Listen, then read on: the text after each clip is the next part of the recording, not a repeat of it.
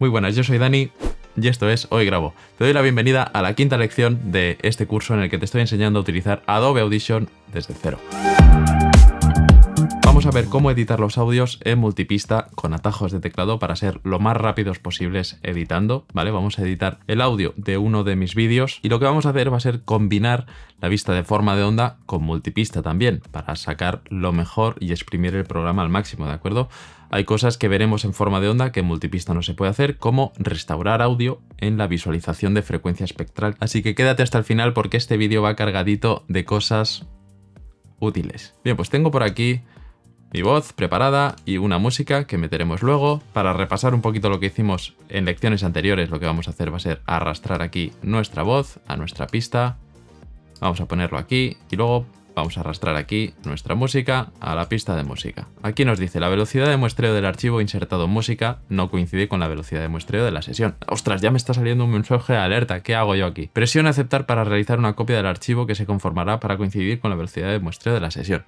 Vale, vamos a decir que no queremos volver a mostrar este aviso, le damos a aceptar y yo te voy a explicar qué es lo que pasa aquí. Como ves, nos ha importado el archivo aquí sin ningún problema, pero ¿qué nos encontramos aquí arriba? Bueno, pues nos encontramos que nuestro archivo de música es este y como ves la velocidad de muestreo estaba a 44100 y lo que ha hecho ha sido convertirlo para que esté a la misma frecuencia de muestreo que está el proyecto, ¿vale? Con lo cual, ningún problema. Este lo podemos eliminar si queremos. Luego, ¿qué ha pasado en nuestras carpetas? Vamos a verlo. Si nos venimos a nuestra querida carpeta de tutorial multipista, ¿qué vemos aquí? Pues que Adobe Audition directamente nos ha creado una carpeta que se llama Conformed Files, donde nos ha creado una copia en otra frecuencia de muestreo. Bien, perfecto, pues ya lo dejamos ahí. Bien, ya tenemos esto importadito, vamos a mutear la música para que no nos estorbe. Vamos a ver ahora las herramientas básicas de edición y luego ya pasaremos a cositas más avanzadas con atajos de teclado. Como ves aquí tenemos varias herramientas para editar nuestros audios. Yo te recomiendo que utilices la herramienta de selección de tiempo, puedes acceder allá con la T, ¿vale? Todas estas herramientas, si dejas el cursor encima, tienes un atajo de teclado para seleccionarla, ¿vale? La V sería la herramienta de mover, la T sería la de selección de tiempo.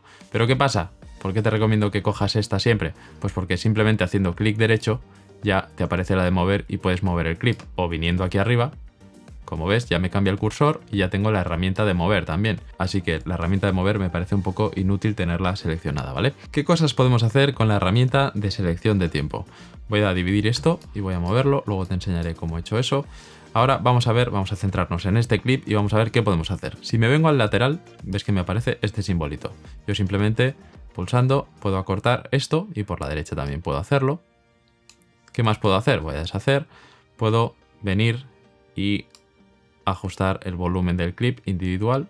Aquí arriba tengo para hacer fundidos de entrada y salida. Si hago arriba y abajo, al igual que en forma de onda, me cambia la curva, izquierda y derecha, el tiempo. Un truquito bastante útil es que si pulsas Alt, pues te lo hace de entrada y salida directamente, ahorrando así bastante tiempo. ¿Qué más podríamos querer hacer? Podríamos querer moverlo, como te he dicho antes, clic derecho, podemos moverlo, o desde aquí arriba también podríamos moverlo. ¿Que queremos copiar este clip? Pulsamos la tecla Opción o Alt y, como ves, me cambia el simbolito y ya puedo copiar aquí. Como ves, ahora se ha hecho una copia y si yo ahora lo muevo y lo solapo, encima uno de otro, ves que me hace un fundido directamente para que la transición, pues que no haya clics raros y demás. Como ves, cuando yo voy moviendo, me van apareciendo unas rayitas aquí en azul que me va colocando el principio o el final de los clips justo aquí coincidiendo con los segundos de la, de la línea de tiempo. Este comportamiento lo podemos cambiar viniendo aquí y dándole a conmutar ajuste. Si pulsamos esto, ya puedo moverme libremente sin que se me enganche a la línea de tiempo. No solo te lo solapa con los segundos de arriba, sino que también te lo solapa con el inicio y final de los clips. Otra forma de evitar este comportamiento sería pulsando la tecla comando o control en Windows, entonces como ves ya no funciona. Vale, esas son las herramientas más básicas de edición que tienes que conocer, ¿vale? Pero lo que queremos ahora es editar esta media hora de choricillo de audio lo más rápido posible. Pero para eso vamos a tener que utilizar atajos de teclado. En la primera lección de este curso te explicaba cómo asignar esos atajos de teclado y además te dejaba un enlace en la descripción para que puedas descargar un PDF con todos los atajos de teclado que vamos a utilizar ahora. Ahora lo que tenemos que hacer es ir escuchando nuestro audio e ir recortando esos trocitos que no nos valen. Así que ponemos nuestro cabezal de reproducción aquí y vamos pulsando espacio para reproducir Ok, eso son palmaditas de inicio. Vamos a escuchar esto. We're rolling. We're rolling, esto no nos A sirve. ver qué tal estamos. Vale, todo esto está muy bien, pero lo que queremos es escucharlo mucho más rápido, para no tener que estar media hora, porque al final esto, media hora que seguro vamos a tardar, más un poquito más de editar, colocar cosas, etcétera. Entonces lo que queremos hacer es reducir ese tiempo de escucha al máximo posible. ¿Y cómo podemos hacer esto? Como ves, en los atajos de teclado, en la D tenemos asignada que si pulsamos espacio y pulsamos la D. Aquí- lo escuchamos muchísimo más rápido. A mí esto se me hace demasiado rápido, entonces voy a entrar en preferencias, tienes que venir aquí a reproducción y grabación y decirle que velocidad de trayecto JKL, velocidad media. Ahora la velocidad de reproducción en rápido, We're rolling. A ver qué tal estamos de niveles. Estamos entrando más o menos. Aquí- hoy tenemos aquí la. ahora es rápido, voz de pitufo, pero se entiende. Vale, ya tenemos esto configurado, ¿qué más podríamos hacer aquí para optimizar nuestro espacio de trabajo? Lo que queremos ahora es tener la máxima visión de la onda posible. Entonces voy a cerrar todos estos paneles Ahora esto nos deja muchísimo más espacio para ver toda la onda y editar bien. Entonces, ¿qué tenemos que hacer? Venir aquí y vamos a decirle guardar como nuevo espacio de trabajo. ¿Cómo vamos a llamarle? HG edición multipista. Le damos a aceptar y ya lo tenemos aquí. Como ves ahora ya podemos cambiar de un espacio a otro de forma rápida. Lo dejamos aquí y vamos a empezar a escuchar. Hoy tenemos aquí la Audient ID44, el tope de gama. Vamos a escuchar el primer punto en el que ya es válido. Hoy tenemos aquí La Audient ID44, el tope de gama de. Hoy tenemos aquí la ID44 interfaz. Interfaz tope de gama de la marca Audient. He estado utilizando esta interfaz durante varios meses. Yo creo que por aquí ya sería lo válido. ¿Qué hacemos ahora? Cojo desde aquí y selecciono todo, pulso la letra Q y ya lo tengo ahí al principio. Ahora pulso espacio para reproducir desde el punto en el que he cortado Hoy tenemos aquí la ID y mientras voy escuchando pulso la letra G para quitar la selección. Adobe Audition por defecto, cuando pulsamos el espacio Estamos hablando de un y lo volvemos a pulsar, nos vuelve a la posición inicial. Esto puede que lo quieras, si estás centrado en una zona en concreto para escucharlo varias veces es bastante útil. Estamos hablando de un Estamos hablando de un Pero si yo lo que quiero es que cuando yo pare se quede en el sitio en el que está, simplemente tienes que pulsar el atajo Shift o mayúsculas X, ¿vale? Y ahora, Estamos hablando de una interfaz que ronda los 550 euros. ahí donde yo paro es donde va a seguir, ¿vale? Vale, hasta aquí sé que todo esto está mal, así que lo que suelo hacer es dejar el cabezal de reproducción aquí, pulso la tecla Shift y ahora la selección me la hace desde el punto en el que yo tenía esto seleccionado hasta donde yo quiero, ¿vale? Podemos acabar de ajustar la selección, al igual que hacíamos en forma de onda, hasta este punto. Vamos a acabar de editar todo y ahora vengo. Vale, yo sé que en este punto está mal y luego si sigo escuchando, igual ya me, me olvido o no me acuerdo de cómo era la forma de la onda, ¿vale? Cuando lo tenemos así tan seguido. Entonces, ¿qué suelo hacer yo? Pongo aquí un marcador, pulsando la letra M, como ves, aquí arriba se me crea este marcador y así yo sigo escuchando tranquilamente por Nos aquí. viene Nos viene dos cables de conexión, uno de USB-C. Y ahora ya sé que tengo que seleccionar desde aquí, pulso Shift y ahora arrastro hasta el marcador. Si tengo además la opción del imán este, se va a imantar con el marcador, entonces ya pulso la Q y ya lo tengo recortadito justo en el punto. Escuchamos desde atrás para ver que el corte ha sido bueno. Por supuesto, tenemos el interfaz, el cable, nos viene dos cables de conexión, interfaz, el cable nos viene Como ves aquí, pues eh, había seleccionado un punto erróneo, entonces tengo que deshacerme de esta parte de aquí. Bien, pues hacemos esto, pulsamos la Q y ya lo tenemos. puesto, tenemos el interfaz, nos viene dos cables de conexión, uno de U- y ya podemos eliminar este marcador de aquí. Hacemos clic derecho, eliminar marcador y ya lo tenemos. ¿Qué más herramientas nos pueden ser de utilidad? Bueno, pues imagínate que yo quiero eliminar todo esto de aquí, pero quiero mantener el espacio. Si pulso la Q, eh, esto se me desplaza todo. Yo no quiero eso, yo lo que quiero es mantener este espacio, ¿no? Porque quizá estoy trabajando para vídeo y tengo que mantener la sincronía, ¿no? Entonces, ¿qué tengo que hacer? Simplemente pulso la tecla W de eliminar y ya está. Que me arrepiento y sí que quiero eliminar este gap, este trocito en blanco. Pues con la letra E tengo que tener el cursor del cabezal de reproducción puesto en este espacio en blanco y ahora me solapa todo lo que hay en la derecha me lo solapa hacia la izquierda. Vale, imaginemos que ahora tenemos esta situación. Tengo todos estos scripts, que hay algunos que van juntos entre sí, están solapados, y hay otros que sí que conservan estos espacios entre medias. Entonces, si yo quiero desplazar todo esto hacia la derecha porque al principio tengo que meter algo, ¿qué tengo que hacer? Porque tendría que seleccionar la herramienta de la V, seleccionar todos estos scripts, pero ojo, porque aquí, si yo me alejo, tengo más clips hacia la derecha. Entonces ya tengo que hacer zoom out, tengo que seleccionar la herramienta de mover, tengo que seleccionar todo.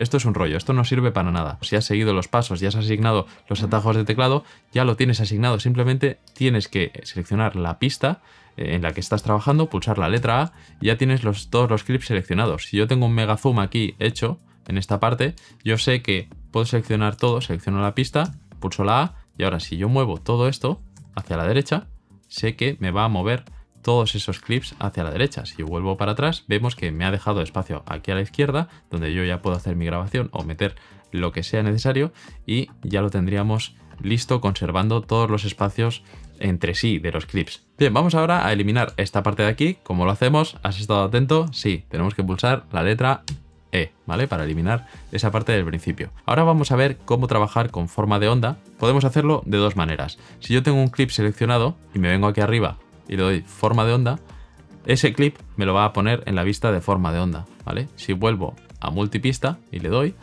ves que ya tengo aquí de nuevo mi clip seleccionado. Otra forma, la más fácil, hacemos doble clic y ya me lo abre en forma de onda. Si yo pulso de nuevo en multipista, volvemos atrás. El, atajo de teclado para cambiar entre vistas sería 9 y 0 por defecto, ¿vale? Si yo tengo este clip seleccionado y pulso 9, ya me lo muestra en forma de onda. Si yo pulso 0, ya me vuelve a la vista anterior de multipista.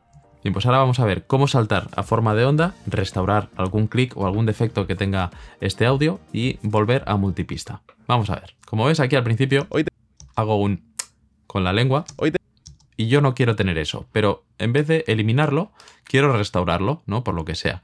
Pues hago doble clic, y me vengo aquí a mi vista de forma de onda. Si venimos aquí arriba y pulsamos este botón, mostrar visualización de frecuencia espectral. Como ves tiene un atajo de teclado, Shift o mayúsculas D. Y ya tenemos esta vista de aquí. Dani, ¿qué es esto de aquí? Las llamas del infierno. Menudo galimatías que me estás metiendo. No te preocupes, vamos, vamos a verlo poco a poco, ¿vale? Esto lo vas a entender enseguida. Cuando nosotros trabajamos en la forma, en la vista normal, la onda lo que nos muestra es tiempo de izquierda a derecha y volumen de arriba a abajo. Y aquí abajo, básicamente, la visualización de frecuencia espectral, voy a cambiar un poquito la vista para que lo veas mejor. Aquí lo que estamos trabajando sería tiempo, igualmente, de izquierda a derecha. Luego, de arriba abajo, lo que estamos trabajando es frecuencia, ¿vale? De más grave abajo estaría lo más grave y arriba estaría lo más agudo. Y luego el volumen está representado en forma de color. Cuanto más amarillo, más volumen, más ganancia. Y cuanto más negro, menos volumen. Por ejemplo, cojo esta herramienta de recuadro y ahora aquí abajo puedo hacer una selección en esta parte de aquí, donde yo veo que está esa frecuencia más aguda y Adobe Audition me permite, pulsando la tecla Comando U, lo que hace es restaurármelo. Vamos a eliminar este también, vamos a seleccionar todo esto, pulsamos Comando U y ahí como ves ya hemos restaurado y se nota simplemente una respiración más natural y no ese clic de la boca. Y no hemos eliminado nada de tiempo, que eso es lo importante, ¿no? Si queremos mantener la sincronización o el tiempo. Ahora volvemos a nuestra vista de multipista o pulsando el botón cero, que yo es lo que te recomiendo que hagas. Hoy tenemos aquí y como ves ya no está ese clic. Y así podríamos hacer con todo. Vamos a buscar otro para poner otro ejemplo. Aquí tenemos otro ruido que podríamos corregir de forma fácil. Simplemente pulsando la tecla hacemos la selección, pulsamos la tecla W para conservar el tiempo, hacemos un fundido de salida y un fundido de entrada aquí. Interfaz tope de gama. Y así es como podríamos ir corrigiendo las cosas que estén entre medias en los silencios. Hasta ahora lo que hemos visto ha sido cómo reparar esos clics que se producen en las respiraciones, ¿no? en los silencios, en las pausas, cuando dejamos de hablar. Pero, ¿qué pasa cuando el clic se produce mientras estamos hablando? Vamos a ver si encontramos algún ejemplo. Aquí, por ejemplo, tenemos una D, vamos a hacer una marca, vamos a hacer doble clic aquí. Así te puedes hacer una idea de cómo suena como ves en el de cómo suena, una idea de cómo suena. Ahí tenemos un clic feo. Y ahora lo que vamos a hacer es venir aquí y vamos a cambiar la vista un poquito. Vamos a intentar ajustar esto para ver ese clic dónde se produce. ¿Cómo estoy haciendo esto? Como ves, pulsando comando eh, mayúsculas y la flecha de arriba o abajo, yo puedo ver, eh, puedo cambiar, digamos, la resolución.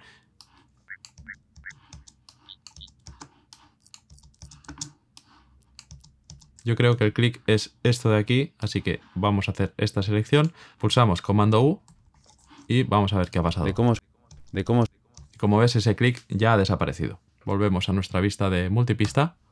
Pero así te puedes hacer una idea de cómo suena. Y como ves ya lo tenemos reparado, quitamos este marcador y ya lo tendríamos listo. Bien, ¿y qué pasa si tenemos dos voces, por ejemplo? Si tenemos un podcast y queremos ir recortando todo sin que se nos descuajeringue el proyecto y se nos desincronice la entrevista. Además tenemos la música por aquí abajo. O si estamos grabando para vídeo, cómo podemos sincronizar la voz con la imagen. Bien, pues todo eso te lo cuento en el curso completo de Adobe Audition de hoygrabo.com. Te dejo el enlace por aquí y abajo en la descripción para que puedas acceder. Son 8 horas de contenido para que aprendas a utilizar este programa de forma profesional, con no solamente las técnicas y todas las herramientas más en detalle, sino todo este tipo de flujos de trabajo de la vida real que nos ocurren en nuestro día a día, tanto si haces podcast, locuciones como doblajes o trabajas con vídeo, incluso la integración con Adobe Premiere. Abajo en la descripción podrás ver el enlace al curso donde podrás ver todo el índice de contenidos, además de la opinión de todos los alumnos que ya lo están haciendo. Y no solo aprenderás un montón, sino que también estarás apoyando a este canal ya que pueda yo seguir haciendo vídeos como este. Ahora que ya has aprendido a editar en multipista, por aquí te dejo el siguiente vídeo donde vamos a ver cómo mezclar y masterizar estos proyectos. Hasta ahora. Uy, me ha salido un gallo, creo. ¿Me ha salido un gallo? ¿O he sido yo? Vuelve para atrás. Hasta ahora. Hasta ahora. Hasta ahora. A ver si ha salido un gallo. Y me lo dejas en comentarios. Venga, hasta ahora.